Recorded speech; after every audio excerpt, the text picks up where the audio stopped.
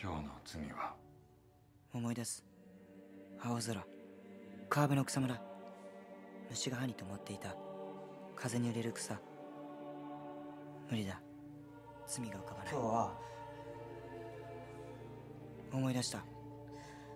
濡れた傘を畳まずに店に入って雨のしぶきを床にばらまきました。うん。それで？それでもしかすると誰かそのしぶきを浴びて眉間にしわを寄せていたかもしれないです。それは迷惑なことをしたな。他には？今日の罪は？思い出せない。そうだ。ちょっと前に。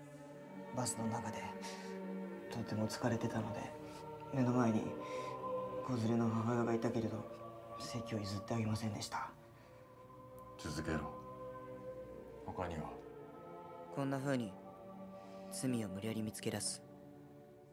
まるで毎日絞り出す歯磨き粉みたいに一生懸命出していた。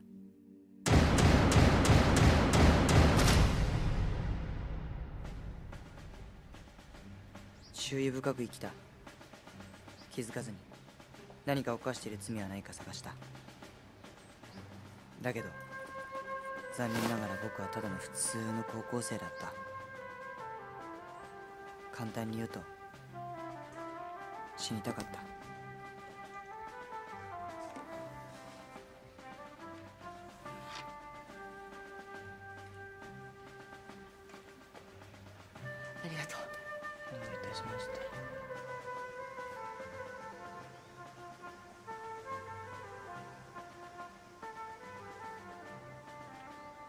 ありも潰せない僕。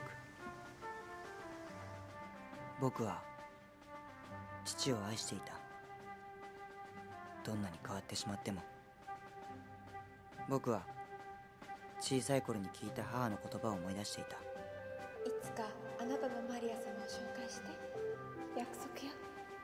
いつしか女の人をこの人マリアしかいないと思うようになった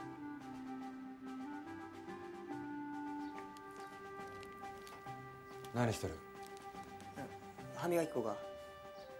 歯はな白く保てよ。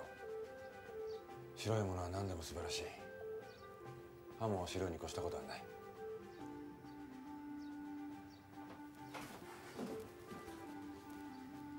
自分がだなんて一回でも思ってみろ。それは偽善だ。罰が当たるぞ。はい。どんなに頑張ってもお前は悪い子なんだからお前は悪い子か？はい。お前は悪い子か？そうです悪い子です。よろしい悪い子よ。では罪を認めろ。はい。罪を感じます。感じるじゃない。罪を認めろ。はい。罪を認めます。懺悔の日は続いた。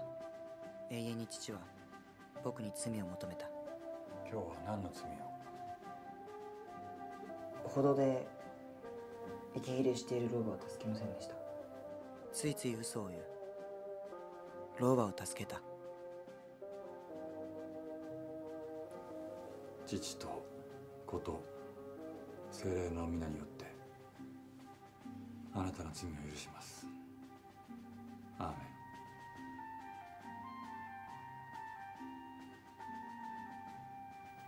今日のは嘘だろ。嘘はバレる。嘘だろ。すみません。その時初めて罪を自分で作っていかなくてはならないことに気づいた。